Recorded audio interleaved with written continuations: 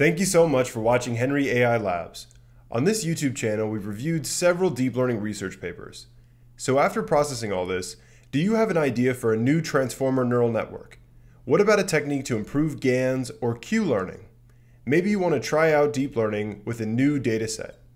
Well, if you're looking to get into deep learning research, you'll need to have some serious engineering power behind your experiments.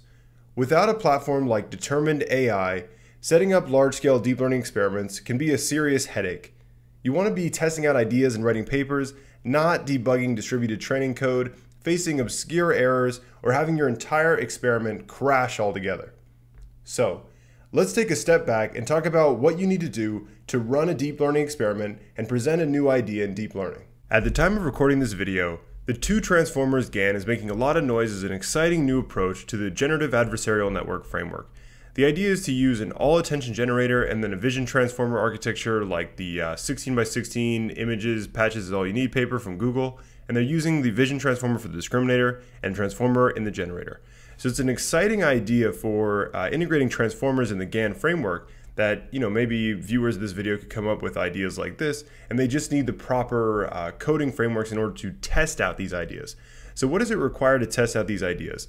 Well, in order to say that these uh, two transformers is better than the generative adversarial network baseline would say, uh, say like the DC GAN with the deep convolutional uh, architectures in the generator and the discriminator, you need to test those two different models. The next thing to do would be to ablate all the different hyperparameters of the transformer GAN. So when you have a vision transformer, it's splitting the image up into the, this uh, hyperparameter of the patch size. You might split it into 8 by 8 patches, 16 by 16 patches, or 32 by 32 patches. Then further, what happens with uh, model configuration? Having more layers, having uh, larger intermediate uh, features like the width of these uh, feature maps in the intermediate layers of deep neural networks, as well as things like batch size, learning rate, augmentation strength. There are tons of hyperparameters that are going to influence the performance of a deep learning system and are important to have some kind of framework to search through these hyperparameters in order to report your new ideas in deep learning.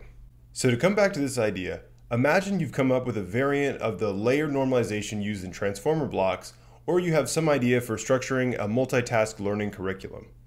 Well, the performance of deep learning models is somewhat shrouded in mystery. Many parameters of the learning algorithm itself, known as hyperparameters, could heavily influence training. These include the learning rate, batch size, model size, uh, optimizer choice, or augmentation strength, to name a few.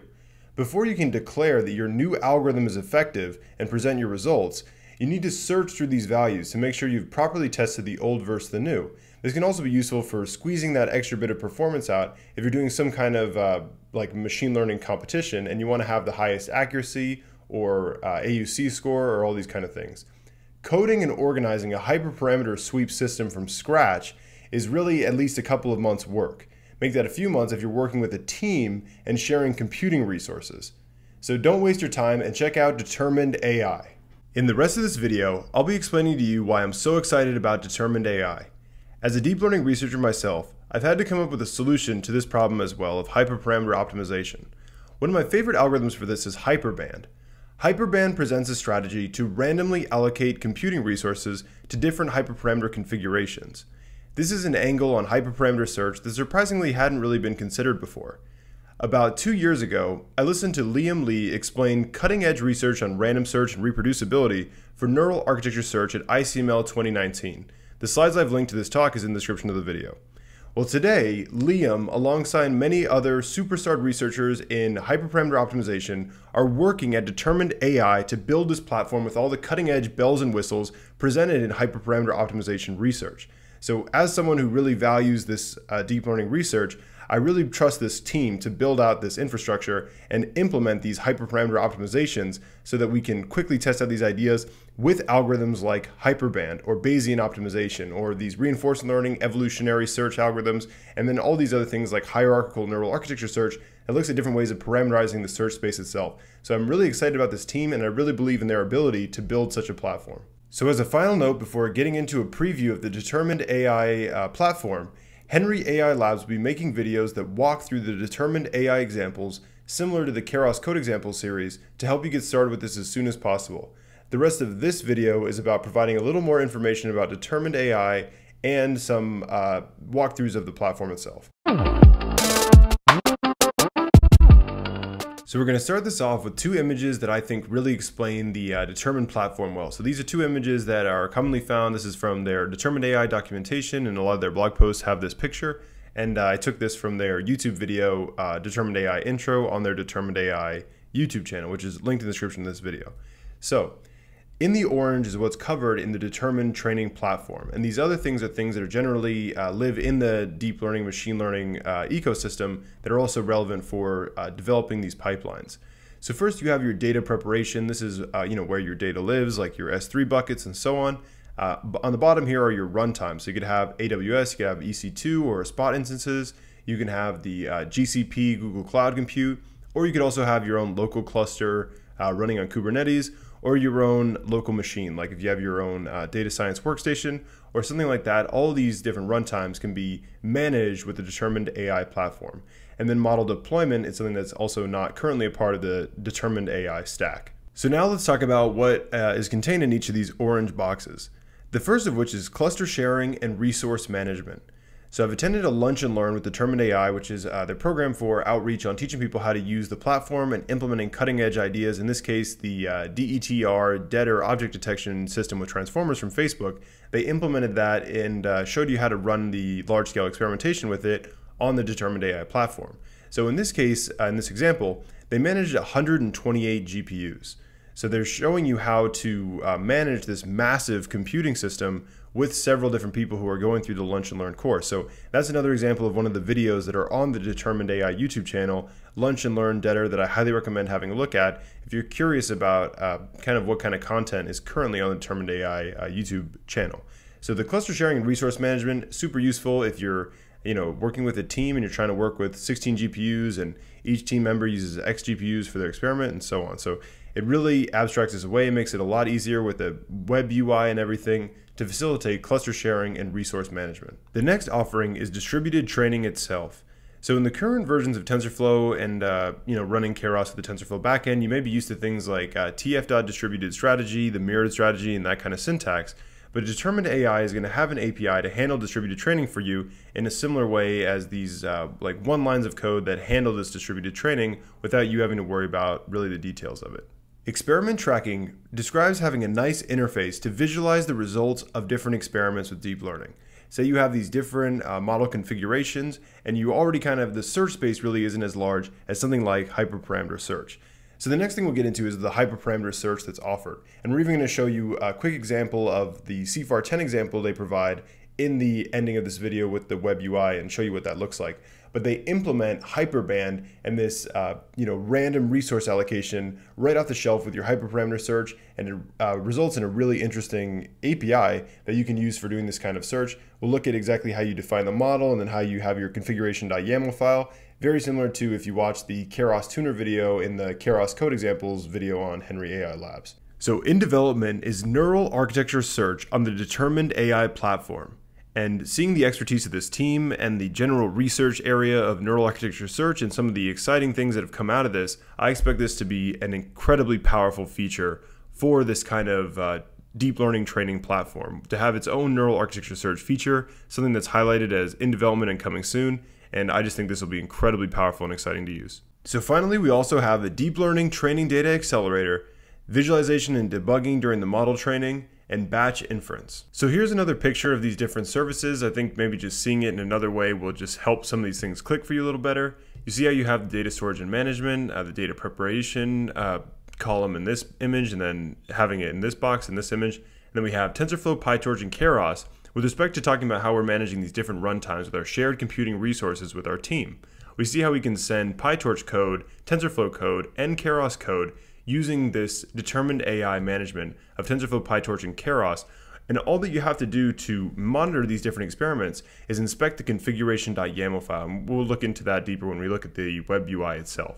So again, we have experiment tracking, automated hyperparameter search, cluster sharing and resource management, distributed training, model deployment optimization, and model serving. And then we have the uh, final comment uh, column in the actual model deployment services that are outside the scope of Determined AI. The first question you might have is what do I use Determined AI with? Well, it can run on AWS EC2, also works with the Spot instances, which are uh, kind of like a cheaper way of using these EC2 instances, but you might get uh, kind of like timed out, something like that. So it's kind of like the Google Colab where you have these uh, lower cost resources, but you know, I'm not sure exactly how much that works because I don't personally have too much experience with using Spot instances, but that's something that you can use Determined AI with. You can also use it with the Google Cloud Compute Platform, and then you can also use it with a personal workstation or if you have a cluster that's running on Kubernetes, you can all interface these things with Determined AI. So the way this would work is you have your computing like AWS, and then on your local machine, you're going to write the model definition and the configuration for the uh, test, and you're going to send that to the uh, cloud computing service through the Determined AI interface. So you write this code locally, and then you send it off to the computing uh, runtime to run the experiments. So now let's dive deeper into what makes me personally so excited about the Determined AI platform, which is AutoML and hyperparameter optimization. So again, when we're talking about hyperparameter optimization, we're looking to find the best performing values of the learning rate, batch size, whether batch size of 32, 256, 512, and so on, model configuration, say eight layers versus four layers, and then hidden dimension. Say you have hidden feature vectors of uh, 512 dimensions compared to 1024 compared to 256 and so on. And then the data augmentation strength or all these other hyperparameters of deep neural network training. And again deep neural network performance is really sensitive to these hyperparameters and it's really important to search through them to try to find the best uh, performance report proper baselines compare models properly and so on so neural architecture search is another really exciting idea. It's a bit more ambitious than hyperparameter optimization generally, where you're trying to find these optimal computation blocks to stack together to form these deep neural networks. So say when you have the uh, GPT transformer decoder model, it's done by having this one transformer decoder block stacked on top of itself several times. So neural architecture search and how many times you want to stack these blocks together and the uh, overall configuration of stacking blocks together is known as macro architecture search, whereas micro architecture search is this more fine grained trying to find this optimal block that's then stacked on top of itself several times. And this has a really large search space, so this definitely requires tools like Hyperband and these different things, Bayesian optimization, evolutionary search, and so on in order to find a optimal neural architecture purely from search algorithms. So without further ado, here's a preview into the kind of uh, what's going to be following on Henry AI Labs as we walk through these experiments. This is one of the experiments provided in the Determined AI documentation, CIFAR 10 PyTorch Adaptive Search. So this is the web UI for hyperparameter search. We can see it quickly by clicking on View Configuration.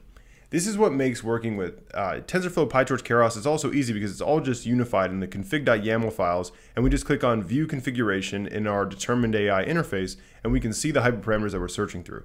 So in this case, we see the learning rate. We have our uh, scale to search through, layer one dropout parameters, two and three, the global batch size, and learning rate decay. So we're searching through these hyperparameters that are configured, the min, max, the step count, it's all configured in this uh, configuration file that the Determined AI platform is using to run these experiments.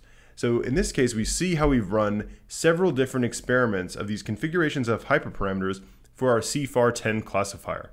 Now we see this is hyperband in action.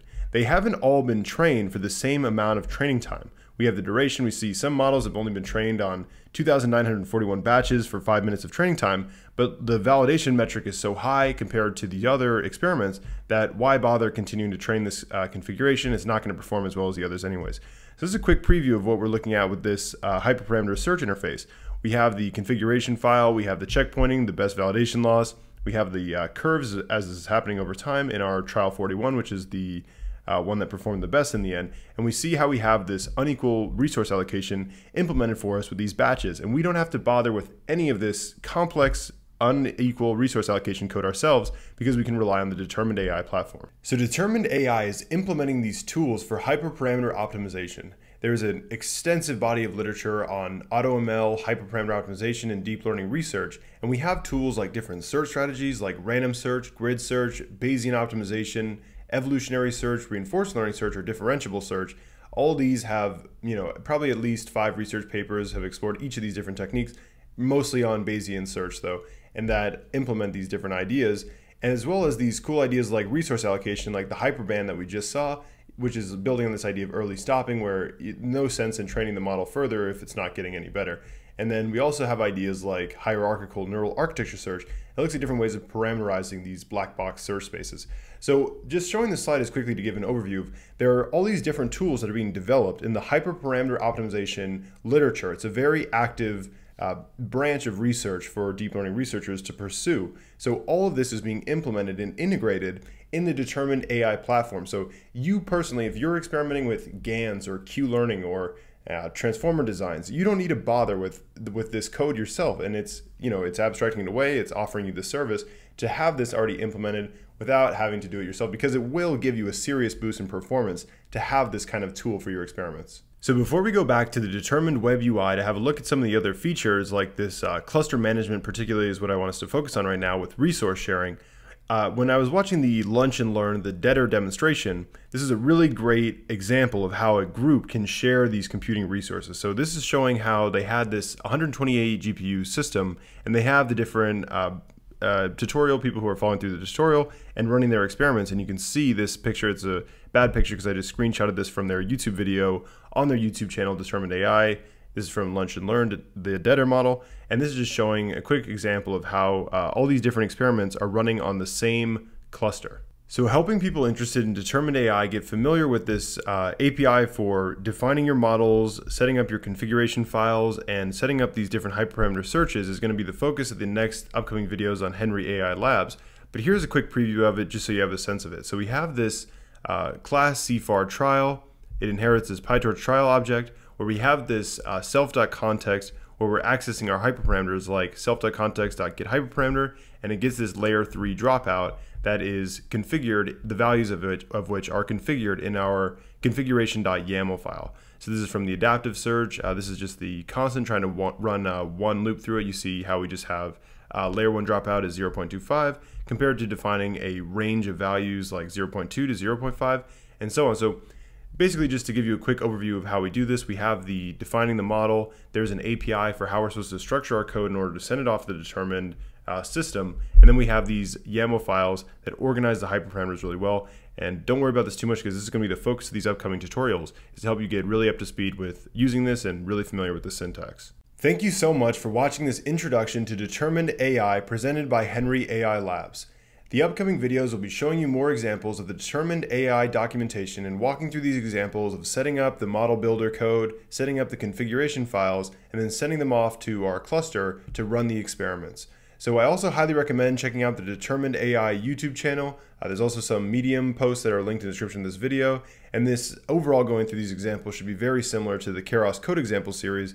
But in the end of this, I think you'll get a lot more value out of this because you need to have some kind of serious engineering power and some kind of understanding of these deep learning uh, training infrastructure systems, uh, ML ops, this kind of idea, in order to really progress with your deep learning experimentation. So overall, thank you so much for watching. I'm really excited about this upcoming series explaining the determined AI examples. Uh, if there's anything that I left out of the video and you have a question, please just ask it in the comments of the YouTube video, or if there's a mistake you think I've made along the way of explaining this, or anything that you want to request with respect to these determined AI tutorials.